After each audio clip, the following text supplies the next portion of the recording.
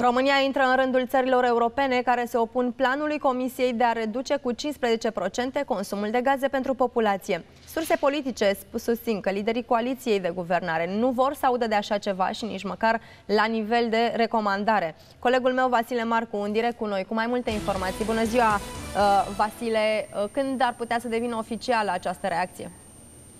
Vedem marți, pentru că marți va avea loc la Bruxelles o întâlnire a ministrilor de energie din toate țările Uniunii Europene, acolo unde ar trebui să se discute despre situația din iarna următoare. Însă, până acum, din ce spun surse din coaliție, în România nu ar fi probleme cu gazul și nu va fi o recomandare din partea Guvernului, deci nici măcar recomandare, nu obligativitate din partea Guvernului de a reduce consumul de gaze cu 15%.